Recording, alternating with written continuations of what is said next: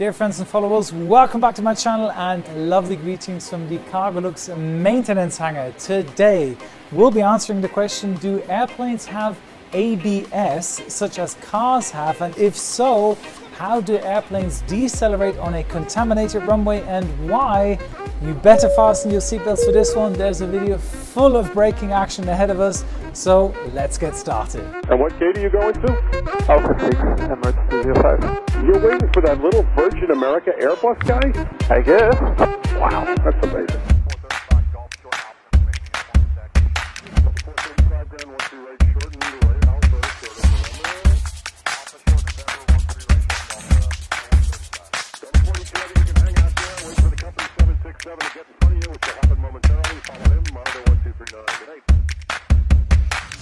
To be able to fly, an airplane has to accelerate to high speeds in order to generate the necessary lift via its wings. Now, this puts a huge amount of kinetic energy into the whole system. Now, while being airborne, speed reduction is achieved solely by aerodynamic drag, but once the tires make contact with the runway, other devices such as the thrust reversers, deployed ground spoilers and brakes inside the wheel rims help decelerating the aircraft. To put this huge energy into perspective, imagine a 747-8 freighter with a maximum landing weight of 340 tons moving around at 150 knots at the moment of touchdown. That's over 1.1 billion joules of energy within this moving system. Hard to imagine? That's the amount of kinetic energy an average car has if it were to be traveling around 4,300 kilometers. Yeah, no, ain't gonna happen. now back to the topic. Now this energy has to be then converted to achieve a speed reduction. Now the brakes are doing that in form of thermal energy, simply known as heat created purely by friction. Now, modern airplane brakes are packages containing multiple disc brakes made out of carbon fiber, such as these right here. Now, every wheel has its own set of brakes, so on the 747, that's 16 brake packages. Now, just to give you a rough idea, a brake package costs above a hundred grand each. You can do the math.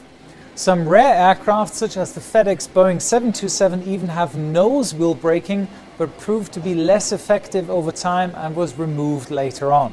So to activate the brakes, the pilot pushes the rudder pedals with his toes, resulting in this tilt movement.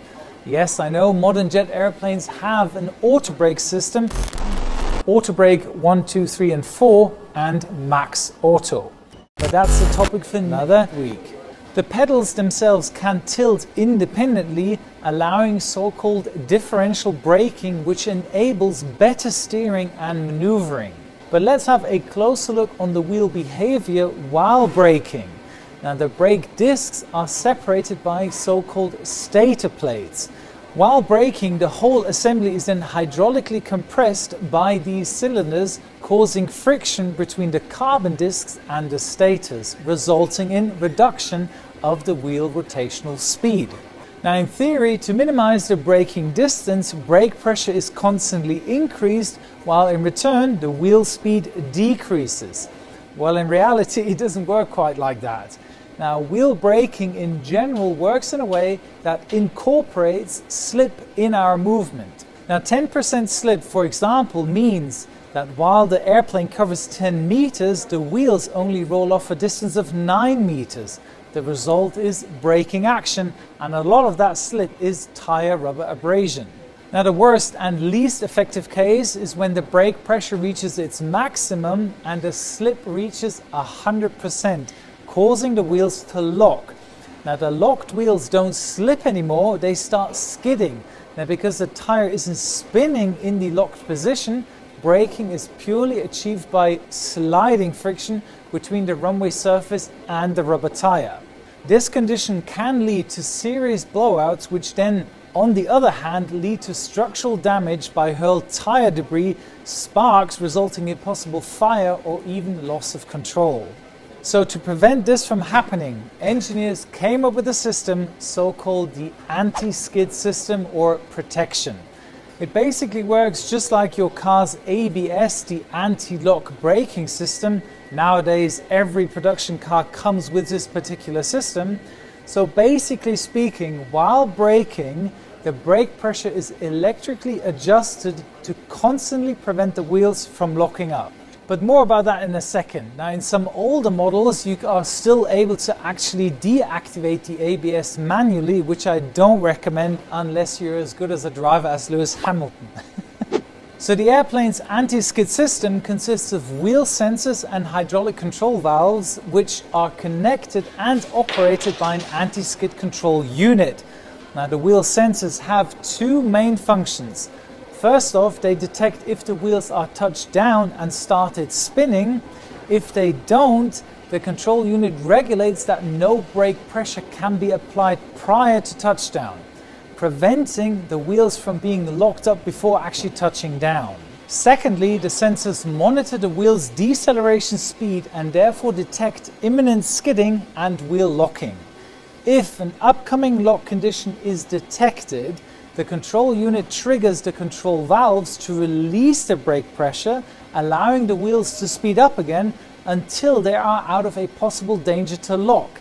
And then the valves allow hydraulic pressure to be applied again, and this process repeats itself until the aircraft reaches a specific speed low enough for the anti skid system to automatically shut off. The system comes even more to play in case of contamination, for example on a wet or snow covered runway.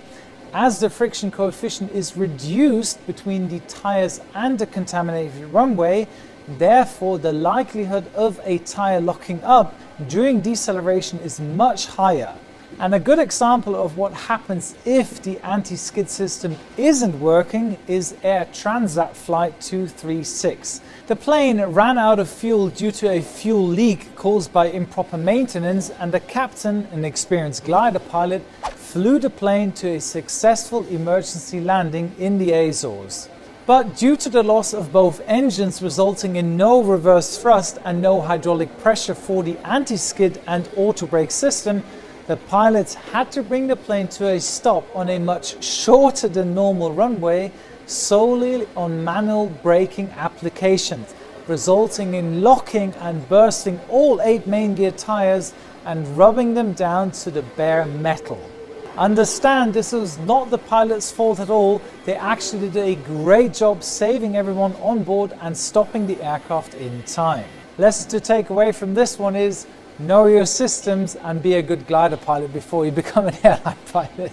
And by the way, the same goes for rejected takeoffs. Now, once the aircraft reaches a specific speed in the takeoff run above 85 knots on the 747, the anti-skid system activates automatically to be ready in case sudden braking has to be applied. Also, an important fact the lighter the plane, the more likely it is to skid as the needed weight to press the water aside during aquaplaning isn't given.